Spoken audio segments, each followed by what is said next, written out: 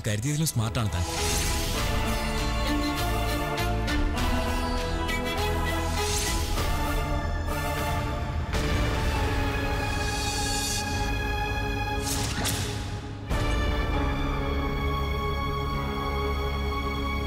കീർത്തി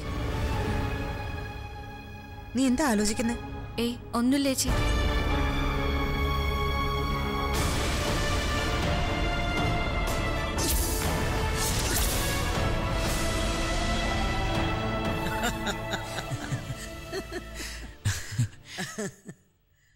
ഇന്നത്തെ അത്താഴത്തിന് കുഴപ്പമൊന്നുമില്ലായിരുന്നല്ലോ അച്ഛമ്മേ. എനിക്കിഷ്ടമായി. കുറേ ദിവസമായിട്ട് വഴക്ക് പറഞ്ഞ് വഴക്ക് പറഞ്ഞ് അവൾ ഇന്നാ ശരിയായത്. സെർവന്നെ മാറ്റണമെന്ന് ഞാൻ പറഞ്ഞാ?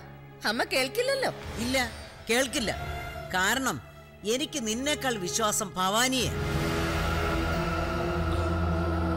നാളെ വൈകുന്നേരം ഞാൻ സിംഗപ്പൂരിന് പോകും. ആ. ചിലപ്പോ ഇങ്ങോട്ട് വരാൻ സമയം കിട്ടിയെന്ന് വരില്ല. അച്ഛമ്മ അഡ്വാൻസ് ആയിട്ട് എന്നെ അനുഗ്രഹിച്ചേ. അത് പറ്റില്ല. നാളെ നീ വന്നേ പറ്റൂ. എയർപോർട്ടിൽ പോകുന്ന വഴി ഇവിടെ വന്ന അനുഗ്രഹം വായിക്കുന്നതല്ലേ നിന്റെ പതിവ്? അത് തെറ്റിക്കണ്ട. എന്നെ കണ്ടിട്ട് പോയാ മതി. സമ്മതിച്ചേ സമ്മതിച്ചു. കാര്യസ്ഥന്റെ മോനെ കാണാതെ അമ്മ എങ്ങനെ ഉറങ്ങുമെന്നാ എന്റെ സംശയം. ഇവൻ എനിക്ക് കാര്യസ്ഥന്റെ മോനല്ല. എന്റെ ചെറുമോൻ തന്നെയാണ് സിദ്ധു എന്ന് പലവട്ടം ഞാൻ പറഞ്ഞിട്ടുള്ളതാ പക്ഷേ എനിക്കിവൻ കാര്യസ്ഥന്റെ മോൻ തന്നെയാ. അർഹിക്കാത്ത ഓരോ സ്വാതന്ത്ര്യങ്ങൾ കൊടുക്കുന്ന കാണുമ്പോ എനിക്ക് സഹിക്കുന്നില്ല. സാരമില്ല. നിന്റെ മോളുണ്ടല്ലോ. ഇവനെ ജീവന തുല്യം സ്നേഹിക്കുന്ന ശിവാനി. അവൾ വന്നു കഴിയുമ്പോ നിന്റെ സഹിയടങ്ങ് മാറും. അല്ലേലേ അവളങ്ങ് മാറ്റും.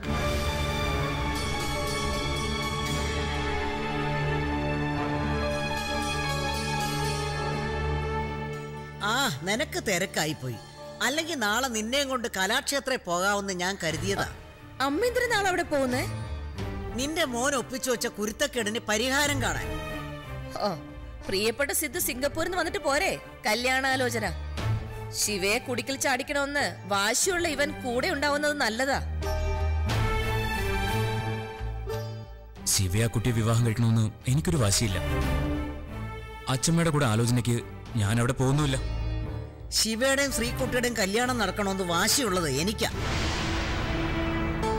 കണ്ണൻ തിരിച്ചു വരുമ്പോഴേക്കും ആ കാര്യത്തിൽ ഒരു തീരുമാനം ഉണ്ടാക്കിയാലേ ശരിയാവൂ. എങ്കിൽ എങ്കി ചെല്ല്. അവളുടെ വീട്ടുകാര് അമ്മ അവിടെ നിന്ന് ആട്ടിയിറക്കും. അവരെന്നെ ഇറക്കി വിടുന്നെങ്കിൽ അങ്ങ് വിടട്ടെ. വിഷവിത്തരണം കുടുംബത്തിൽ പിറന്നു പോയില്ലേ? അനുഭവിക്കാതെ പറ്റുമോ ആ കലാക്ഷേത്രത്തിലെ ഒരു കുട്ടി നമ്മുടെ ഓഫീസിൽ വർക്ക് ചെയ്യുന്നുണ്ട്. കീർത്തി. അച്ഛമ്മയ്ക്ക് അവളുടെ ഹെൽപ്പെല്ലാം വേണ്ടി വരുമോ വേണ്ടടാ. എന്നെ സഹായിക്കാനുള്ള ആൾ ആ വീട്ടിൽ തന്നെ ഉണ്ട്. ഓ ആ വക്കീൽ പെണ്ണിന്റെ കാര്യമാണ് ഉദ്ദേശിക്കുന്നതെങ്കിലേ ഒരു പ്രതീക്ഷയും വേണ്ട. അവൾ ദ്രോഹിക്കേ ഉള്ളൂ. വക്കീൽ പെണ്ണോ? അതേടാ. ഈ പെൺകുട്ടിയുടെ കാര്യമാണോ അച്ഛമ്മ മുൻപിനോട് സൂചിപ്പിച്ചത്? അത് തന്നെയാ നമ്മുടെ ആൾ. നമ്മുടെ ആളോ? ഏത് വകയിൽ? ദേ ഇന്നലെ ഞങ്ങൾ സംസാരിക്കുന്ന എന്റെ വാലെ പിടിച്ചു വരല്ലേ? പൂച്ചയ്ക്ക് എന്താ പൊന്നൊരുക്കുന്നിടത്ത് കാര്യം? ഈ വീട്ടിൽ നടക്കുന്ന എന്തൊക്കെയാണെന്ന് അറിയാനേ എനിക്കും അവകാശമുണ്ട്. വെറും പൂച്ചയല്ല ഞാൻ. പൊന്നൊരുക്കുന്ന പൂച്ച തന്നെയാ. എങ്കിലേ നീ കുറച്ച് അപ്പുറത്തോട്ട് മാറിയിരുന്ന് ഉരുക്കിക്കും. ഞങ്ങൾക്ക് ഇവിടെ പലതും സംസാരിക്കാനുണ്ട്.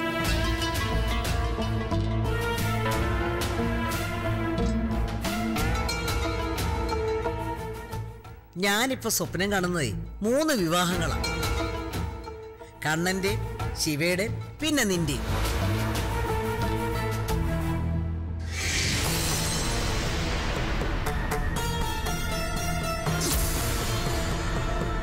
ശിവാനിയും കൂടി എത്തിയാൽ നമുക്ക് മൂന്ന് ഒരുമിച്ച് നടത്താം അല്ലേ? ഇന്നലെയും വിളിച്ചിരുന്നു. നീ വിളിക്കാറേയില്ലെന്നുള്ള പരാതി എപ്പോഴും. നിന്റെ തിരക്കൊക്കെ ഞാൻ പറഞ്ഞു. പക്ഷേ അവൾക്കതൊന്നും മനസ്സിലായിട്ടില്ലടാ.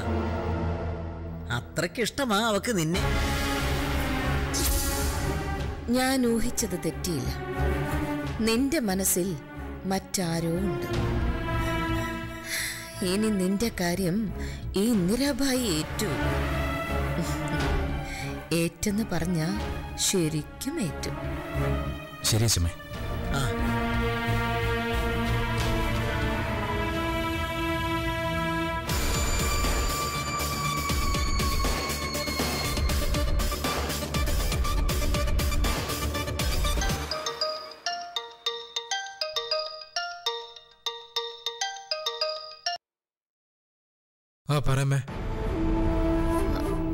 സിദ്ധാർത്ഥന് ഏതോ ഒരു പെണ്ണുമായിട്ട് ബന്ധമുണ്ടെന്ന് എനിക്കൊരു സംശയമുണ്ട് ശിവ. സിദ്ധുവിനോ? ചാൻസേ ഇല്ല. പെൺകുട്ടികളുടെ മുഖത്ത് നോക്കാൻ പോലും ചമ്മലുള്ളവൻ എങ്ങനെ പ്രേമിക്കാനാ? അമ്മ വേറെ വല്ല കാര്യം പറ. Shiva I am serious. ശരി എങ്കി പറ. അമ്മയ്ക്ക് ഇങ്ങനെ തോന്നാൻ എന്താ കാരണം? ഏതോ ഒരു കാവ്യയുമായിട്ട് അവൻ ഫോണിൽ സംസാരിക്കുന്നത് ഞാൻ കേട്ടു. അതിനിപ്പോ എന്താ? ഓഫീസിലെ പുതിയ സ്റ്റാഫുകളായിരിക്കും ആരാണെന്ന് ആരാണെന്നറിയില്ല. എന്നാലും ആ സമയത്ത് അവന്റെ മട്ടും ഭാവം ഒന്നും ശരിയല്ലായിരുന്നു. ആകപ്പാടെ ഒരു ചീഞ്ഞ റൊമാൻസിന്റെ മുഖമാ ഞാൻ കണ്ടത്. കല്യാണക്കാരി സംസാരിച്ചപ്പോ അവൻ വല്ലാതെ ഇറിറ്റേറ്റഡ് ആകുന്നത് ഞാൻ നോട്ട് ചെയ്തു. അങ്ങനെ എന്തെങ്കിലും ഉണ്ടെങ്കിൽ കണ്ടുപിടിക്കണം സിദ്ധാർത്ഥനൊരു പ്രണയം ഉണ്ടെങ്കിൽ ശിവാന് തിരിച്ചെത്തും മുമ്പേ നമ്മളത് അറിഞ്ഞിരിക്കണം. ആ പേരിൽ അവളുടെ മനസ്സിൽ നിന്ന് സിദ്ധാർത്ഥ എന്ന ക്യാൻസറിനെ തൂത്തെറിയണം. ഞാൻ ഏറ്റു. നാളെ മുതൽ സിദ്ധുവിന്റെ പിന്നാലെ എന്റെ ഒരു കണ്ണുണ്ടാവും. അവനുമായി ബന്ധമുള്ള ഒരു കാവ്യെ കണ്ടെത്താൻ വലിയ ബുദ്ധിമുട്ടുണ്ടാവില്ല. ആ പിന്നെ? നിന്റെ അച്ഛമ്മ നാളെ കലാക്ഷേത്രയിലേക്ക് പോകുന്നുണ്ട്. ശ്രീകുട്ടിയുടെ വീട്ടുകാരുമായിട്ട് സംസാരിക്കാൻ. അച്ഛമ്മ പോയി സംസാരിച്ച പ്രശ്നമാ അവർ കല്യാണത്തിന് സമ്മതിക്കും. സമ്മതിക്കട്ടെ. അതിന് നമുക്കെന്താ? അമ്മ എന്തായി പറയുന്നത്? എന്റെ ജീവിതം പിന്നെ നശിപ്പിക്കാനാണോ അമ്മ ആഗ്രഹിക്കുന്നത്? എടാ അവർ സമ്മതിച്ചാലും നമുക്ക് കല്യാണം നടക്കാതിരുന്നാ പോരെ. എന്റെ അമ്മ അവർക്ക് സമ്മതമില്ലെന്നും പറഞ്ഞല്ലേ നമ്മൾ ഇത്രയും കാലം പിടിച്ചെന്ന്? അച്ഛമ്മ അവരുടെ സമ്മതവും വാങ്ങി വന്ന. നമ്മൾ പിന്നെ എന്ത് ന്യായം പറയും? നാളെ നിന്റെ കല്യാണം നിശ്ചയിച്ച് മടങ്ങി എത്തിക്കഴിഞ്ഞാൽ പിന്നെ അവർക്ക് അധികം ആയുസ് ഉണ്ടാവില്ല. നാളെ വൈകുന്നേരം സിദ്ധാർത്ഥ കൂടി പോകുന്നതോടെ വിജയലക്ഷ്മിയുടെ നന്മ ആഗ്രഹിക്കുന്നവരൊക്കെ ഇന്ത്യയ്ക്ക് വെളിയില. ഇവിടെയുള്ളത് കൊടിയ ശത്രുക്കൾ മാത്രം. തക്ക സമയത്ത് ഇന്നിര തൊടുക്കുന്ന ബ്രഹ്മാസ്ത്രത്തെ തടുക്കാൻ അവർക്കാവില്ല. എന്നാ പിന്നെ അവർ പോയി കല്യാണം ആലോചിച്ചിട്ട് വരട്ടെ. അല്ലേ. നാളെ എന്റെ ഐപാഡിൽ ഞാൻ അവരുടെ കുറെ ഫോട്ടോസ് എടുക്കുന്നുണ്ട്. പത്രങ്ങളിലും വാരികളിലൊക്കെ നല്ല കവറേജ് ആയിരിക്കും. സൂപ്പർ താരത്തിന്റെ പ്രിയപ്പെട്ട അച്ചമ്മയല്ലേ നാട് നീങ്ങുന്നത്?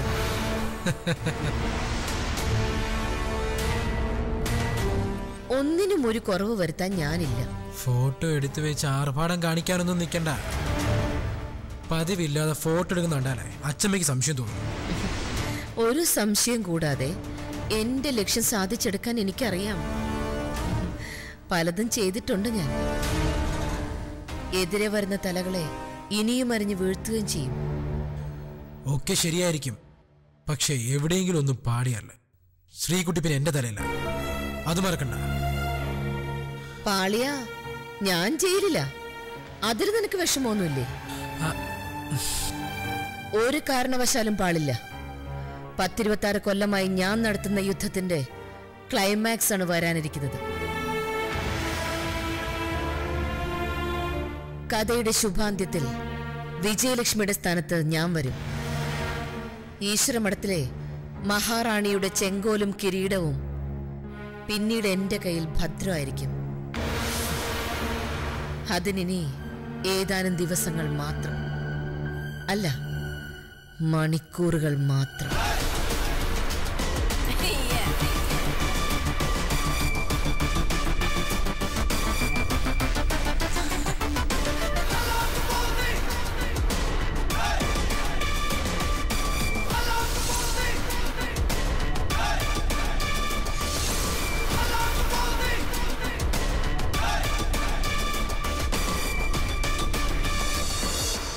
അമ്മയ്ക്ക് ഏറ്റവും നല്ല ചികിത്സ തന്നെ നമുക്ക് കൊടുക്കാൻ ചേച്ചി. ഇപ്പൊ നമുക്ക് കാശൊരു പ്രശ്നമല്ലല്ലോ.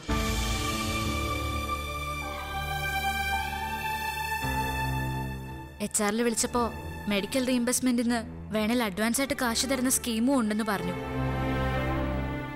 എന്നിട്ട് മിസ്റ്റർ സിദ്ധാർത്ഥ് പറഞ്ഞത് അങ്ങനെയല്ലല്ലോ.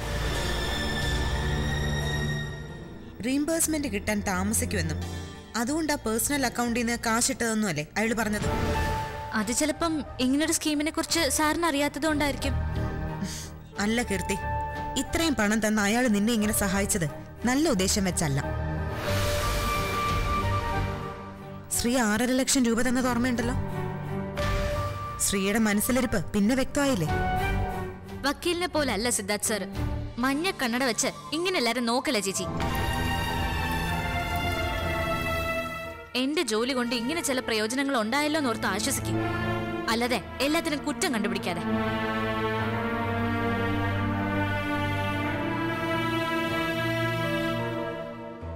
ചേച്ചിയുടെ കാശ് കൊണ്ട് അമ്മയെ ചികിത്സിക്കുന്നതിന്റെ പവർ കാണിക്കുക കീർത്തിച്ച് എന്ത് വേണനും പറഞ്ഞു. ഐ ഡോണ്ട് കെയർ സേതുലക്ഷ്മി മക്കളെ അന്വേഷിക്കുന്നു. കേൾക്കുള്ളൂ ഞാൻ ഡോക്ടറെ വിളിച്ചുകൊണ്ടുവരാം ശരി.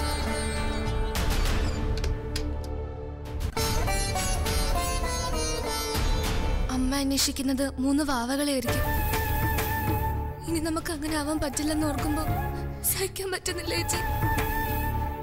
ആ കുട്ടികളെ തന്നെ നമ്മളെന്ന് നമുക്കറിയാലോ.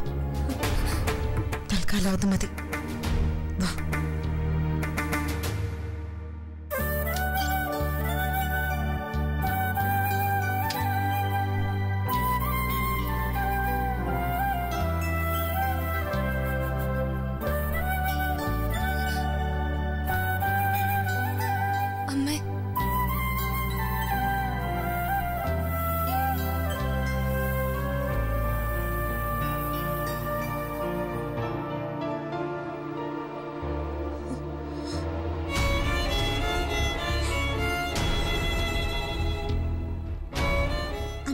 കരയുന്നേ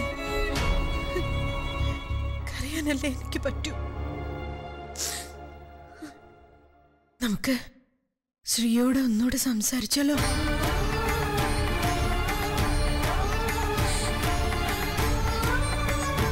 ഒരേട്ടന്റെ സ്ഥാനത്തെ വക്കീലിനെ കാണാൻ പറ്റൂന്ന് കീർത്തി അവനോട് പറയണം.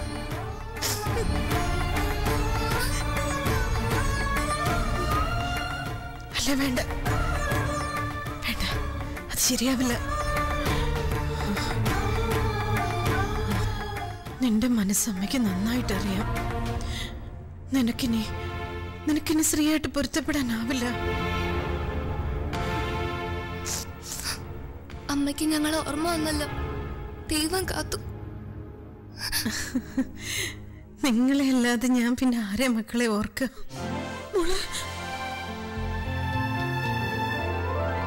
മുത്തശ്ശനും വല്ലായ്മയൊന്നും ഇല്ലല്ലോ അല്ലേ? ഇല്ലമ്മേ മുത്തശ്ശ സുഖമായിട്ടിരിക്കുക അമ്മ പ്രസന്റിൽ തന്നെയാണോ? അതെ ഡോക്ടർ. അസുഖം വന്നതിന് തൊട്ട് മുൻപുള്ള കാര്യങ്ങളാ അമ്മ ഇപ്പൊ പറയുന്നത്. അങ്ങനെ വരാൻ വഴിയില്ലല്ലോ. ബ്രെയിനിലെ ബ്ലീഡിങ് ഹെവി ആയിരുന്നു. ആലോചിക്കുമ്പോ എന്താ ഇന്നിവിടെ നടന്നത്? നമ്മളെല്ലാരും കൂടെ ഹാളിൽ നിൽക്കുമായിരുന്നില്ലേ അതെല്ലാം നടന്ന് ദിവസം കുറെ കഴിഞ്ഞു. അതെ അതെ. കുറെ ദിവസമായില്ലേ?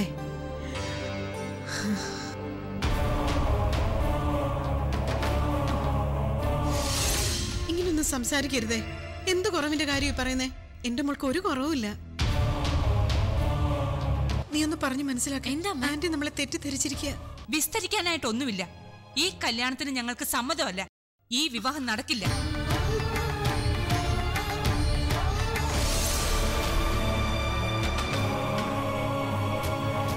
എന്നാലും എന്നാലും ശ്യാമിന്റെ അമ്മ അങ്ങനെ പറഞ്ഞത് ശരിയായില്ല.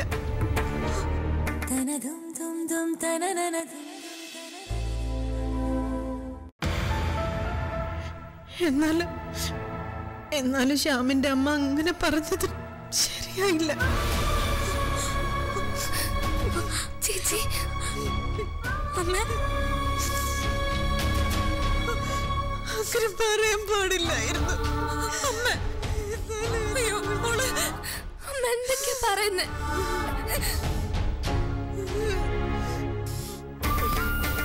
നമ്മൾ ക്ഷണിച്ചിട്ട് വന്നവരൊക്കെ ആഹാരം കഴിച്ചിട്ടാണോ പോയത്?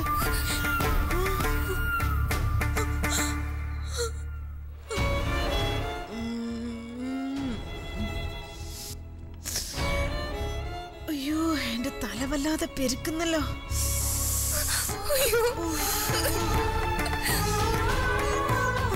അമ്മ റെസ്റ്റ് എടുത്തോ. ഞങ്ങൾ പുറത്തുണ്ടാവും. അങ്ങനെ റെസ്റ്റ് എടുക്കാനൊന്നും പറ്റില്ല. ഇന്ന് കാവ്യയുടെ കീർത്തിയുടെ അരങ്ങേറ്റുവാ വേഗം പോണം. ഒരുപാട് കാര്യങ്ങൾ ചെയ്തു തീർക്കാനുണ്ട്. എന്റെ ഈശ്വര ചേച്ചി. അമ്മ.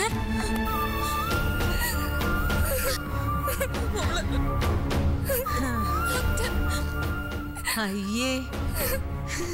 നല്ല ദിവസമായിട്ട് എന്തിനാ എല്ലാരും കൂടെ കരയുന്നേ? ചെല്ല ചെല്ല. സ്റ്റുഡൻസ് എല്ലാരും കൂത്തമ്പലത്തിലേക്ക് ചെല്ല. ഞാൻ പറയാ വന്നേക്കാം. വന്നേക്കാന്ന് പറഞ്ഞില്ലേ? പൊയ്ക്കോ.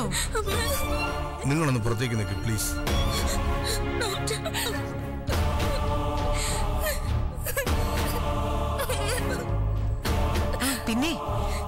മുത്തശ്ശന്റെ അനുഗ്രഹം വാങ്ങിച്ചിട്ട് വേണം ഇറങ്ങാൻ. മക്കളോട് പറഞ്ഞേരെ. ചെല്ല് ചെല്ല്. കരയാതെ ചെല്ല്.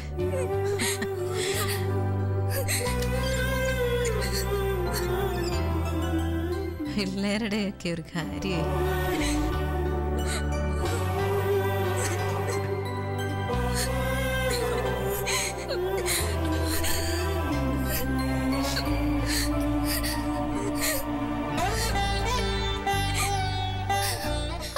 രോഗം മാറി നശിച്ചതാ. ഇനി ഇന്ന് നമ്മുടെ അമ്മ ഇങ്ങനെ ആയിരിക്കോ ചേച്ചി? എനിക്കറിയില്ല മോളെ.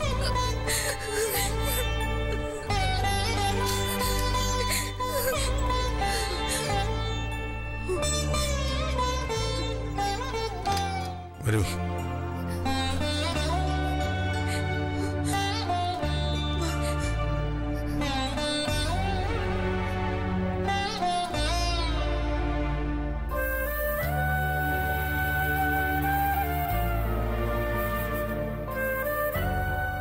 കുറച്ച് സമയത്തേക്ക് ഞങ്ങളുടെ അമ്മ തിരിച്ചു കിട്ടിയെന്ന് വിചാരിച്ചു പോയി.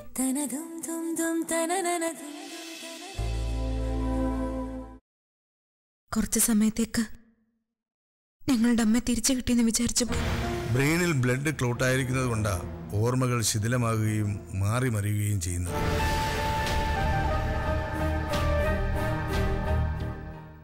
ഏതായാലും പെർമനന്റ് മെമ്മറി ലോസ് അല്ല സേതുലക്ഷ്മിക്ക് വന്നിട്ടുള്ളതെന്ന് ബോധ്യമായി.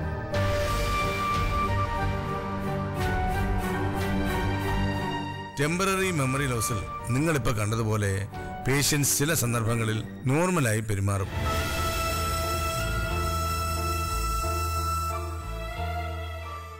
ബ്രെയിനിൽ കട്ടപിടിച്ച രക്തം അലിയുന്നതനുസരിച്ച് നോർമലായി പെരുമാറുന്ന സമയം കൂടി കൂടി വരും.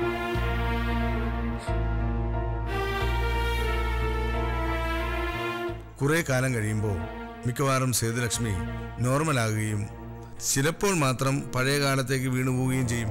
അപ്പോ ബ്രെയിനിലെ ക്ലോട്ട് മുഴുവൻ മാറിയാലേ ഞങ്ങൾക്ക് ഞങ്ങളുടെ അമ്മ പൂർണമായിട്ട് തിരിച്ചു കിട്ടൂ അല്ലേ? അതെ.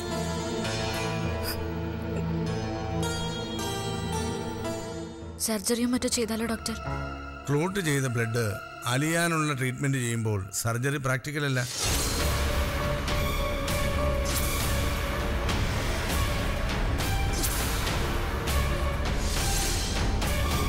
ഇപ്പോഴത്തെ മെഡിസിൻസ് ബ്ലഡിന്റെ കട്ടി കുറയ്ക്കുന്നതാണ്.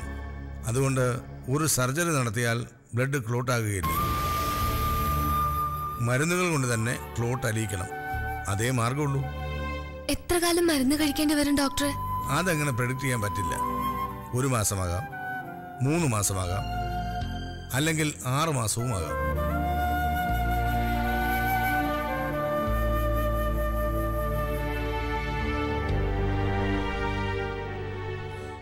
ജീവിതകാലം മുഴുവൻ കഴിക്കേണ്ടി വരുന്ന പേഷ്യൻസുമുണ്ട്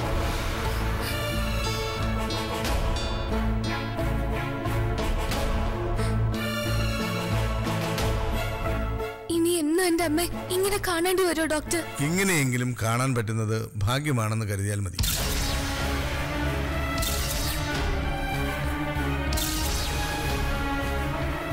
ബ്രെയിൻ ഹെമറേജ് വന്ന് മരിച്ചു പോകുന്നവരുണ്ട് സ്ട്രോക്ക് വന്ന് ചികിത്സയ്ക്ക് ശേഷം കണ്ണു തുറക്കുമ്പോൾ പരാലിസിസ് വന്ന് തളർന്നു പോകുന്നവരുണ്ട്.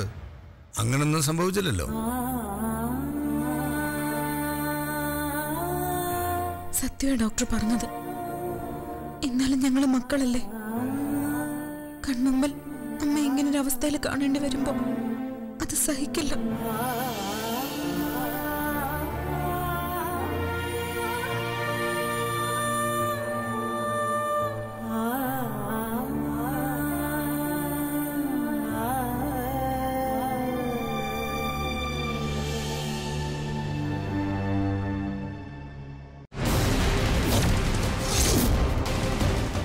ഇനി നിനക്ക് വരുന്ന കല്യാണാലോചന അത് ആരുടേതായാലും എന്റെ മോൾ സമ്മതിക്കണം.